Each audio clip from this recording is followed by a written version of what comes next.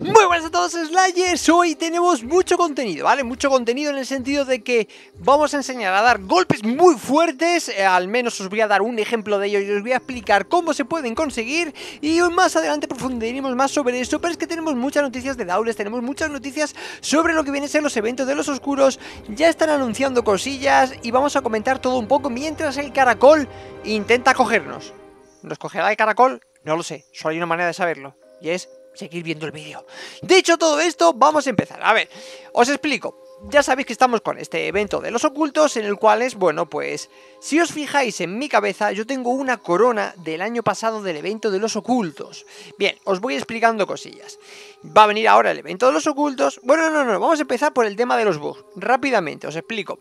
Tema de bugs. Ya sabéis que ahora mismo tenemos bugueadas eh, dame un segundito, aquí lo tenemos, vale, tenemos bugueadas varias cosillas y tengo buenas y malas noticias, ¿vale? Tenemos bugueado, por ejemplo, el tema de completar 5 desafíos de este tipo diario, ¿vale? No se pueden completar, ¿por qué? Pues porque no se pueden completar, punto, ya está y Daules ha dicho, ojo, porque esto lo ha dicho los desarrolladores de Daules, ¿vale? Estado buscando información por Reddit y, lo que nos han dicho básicamente es que no lo van a arreglar relativamente pronto, que la previsión de arreglar esto está para el parche 1.82 o 1.83, es decir, que estamos hablando ya de a mediados, bueno, finales mes de octubre, muy posiblemente principios del mes de noviembre, ¿vale?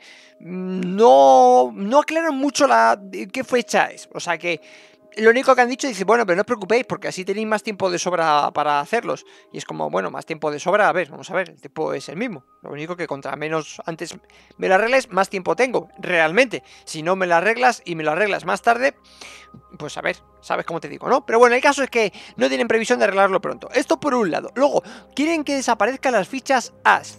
Eh, bueno, me encuentro aquí en el Rasgate, eh, o sea, no estoy en el Rasgate para enseñaros cuál. Si luego me acuerdo os digo cuáles son exactamente, porque ahora mismo no están. Ahí tú te vas al intercambiador, ojo, me acuerdo del nombre, increíble, aplauso. Eso, eso se merece un like seguro, por acordarme del nombre, no por otra cosa. Escucha, emocionantísimo. Estoy emocionado ahora mismo.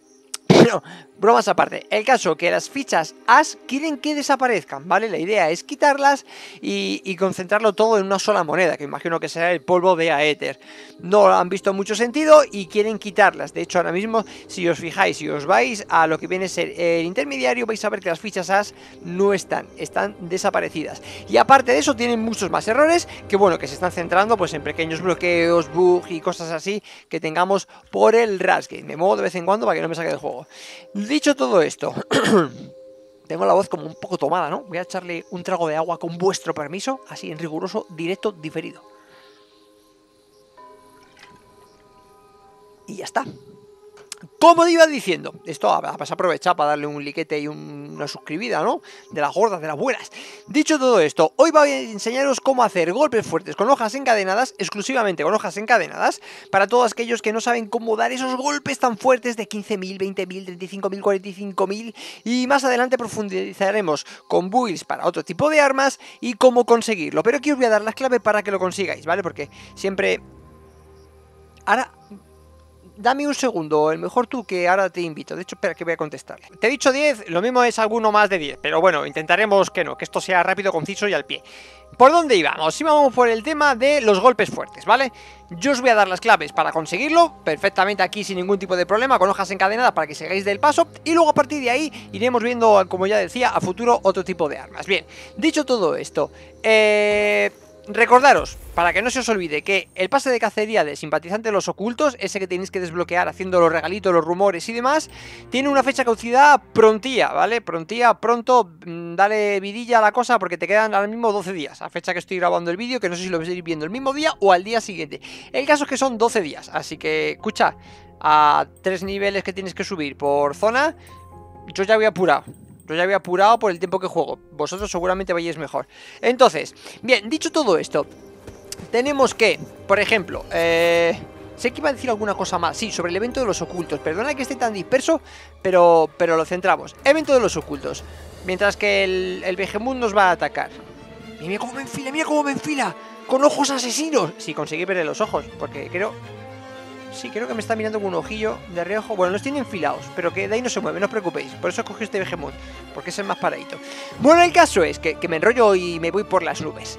Centrémonos, el evento de los ocultos, se van a venir la corona que tenemos aquí, vale, se va a venir un pequeño evento, esto os lo voy a decir porque normalmente Daules no lo cuenta y lo dejan como sorpresa, pero yo os lo cuento con este musicote de Daules propio.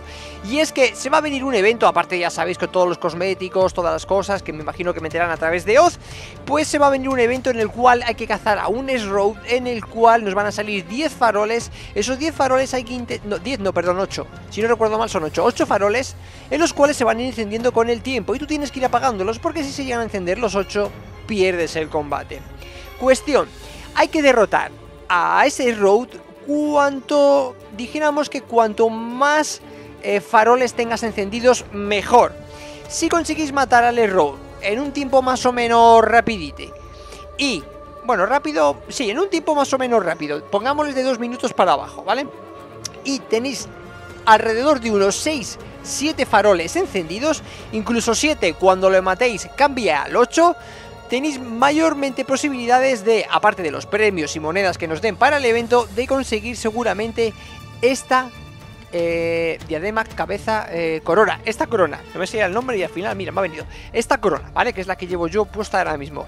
La manera de conseguirla sería esa, matar al Road cuando estén encendidos de 6, 7, yo diría más bien 7, ¿eh? porque costó, costaba conseguirla si no recuerdo mal.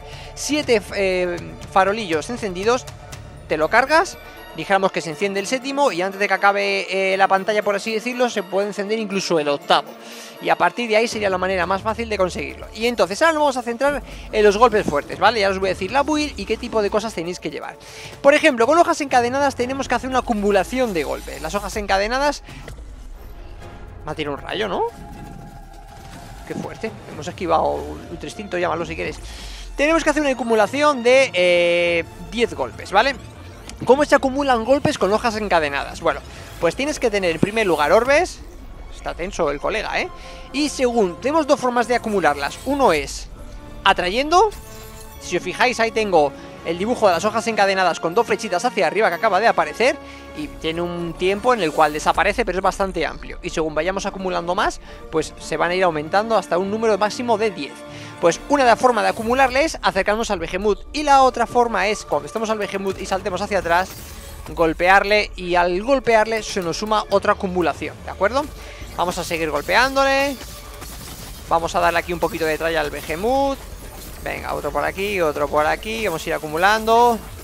Vale, espero no cargármelo antes de tiempo. No, le voy a dar en, partes. Venga, ven por aquí, crack. Mira, vamos a acumularle así, para aquí normal. 8 Ahora sí, 8 9 Voy a acumular un par de De orbes. Si me deja, es que quiero darle suave. A ver, crack, que quiero darte suave, no te quiero matar Que veo que se me complica la cosa. Vale, tengo dos orbes. Vale, vale, vale, vale, yo creo que lo vamos a hacer ahora, ¿vale? Ahí lo tenemos, bien. Entonces, un segundito que os explico. Ya tenemos las 10 acumulaciones.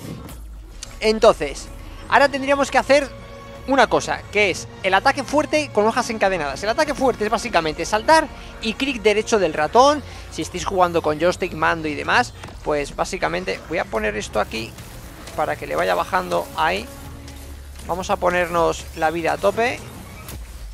Vale, incluso no tenemos el escudo puesto, con lo cual vamos a hacerle menos daño del que podríamos hacerle, ¿vale? Y saltamos, golpe derecho, 9000 de daño y 5000 de stun, ¿de acuerdo? Podría hacerle mucho más daño, pero, eh, por ejemplo, ahora tengo cargado el escudo, lo que pasa es que me lo voy a cargar. Vamos a buscar ahora un Behemoth un poquito más, más amplio para poder hacer esto fenomenal, porque si no se nos complica la cosa. A ver... Vamos, vamos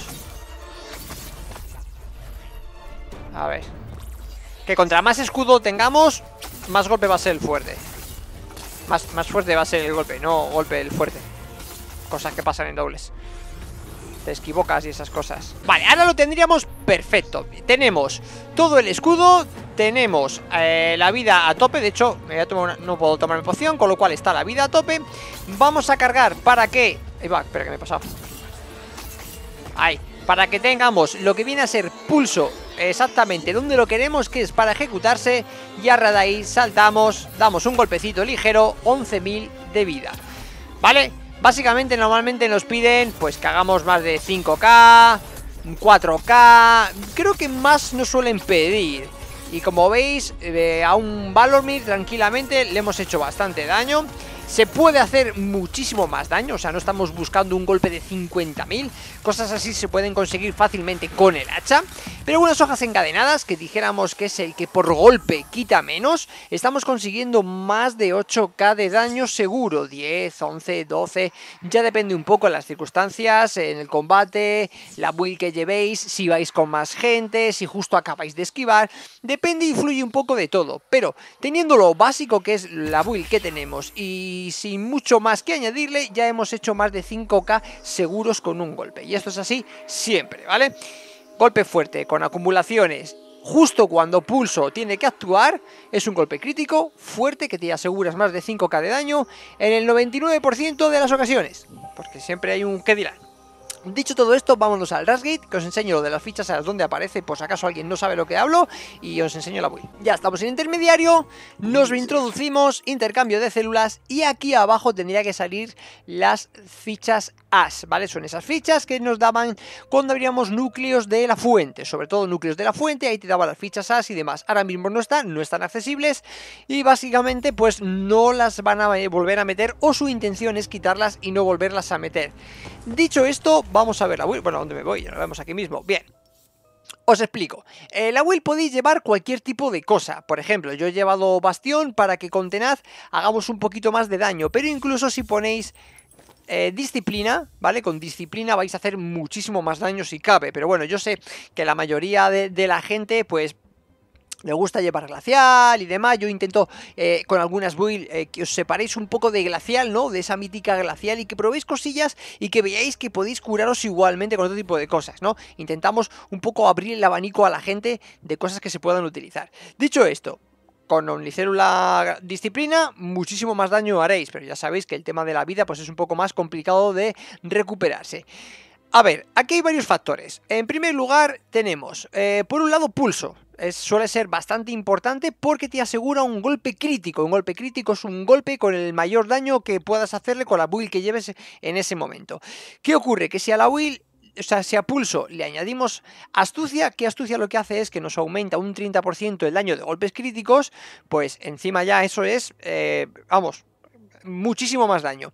A su vez, normalmente el daño amarillo es el típico de daño que se puede aumentar más fácilmente, ¿no? El más voluminoso, el que más se suele notar.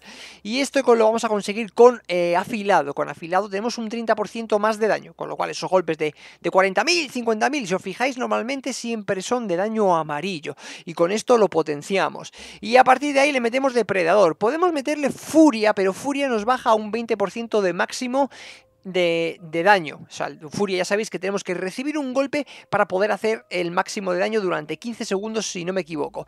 Sí, no me equivoco, son 15 segundos. Y Depredador nos daría un 35% más de daño. Siempre, a ver, son 15 segundos.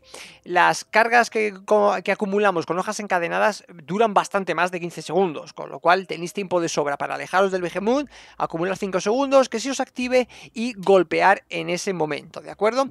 Luego con Tenaz, contra más vida tengamos, más daño vamos a hacer, que eso lo vamos a... Por eso me había puesto la Will con, con, bastión, porque el escudo nos va dando vida, con lo cual nos implica más daño, ¿vale? O sea que es un potenciador de daño.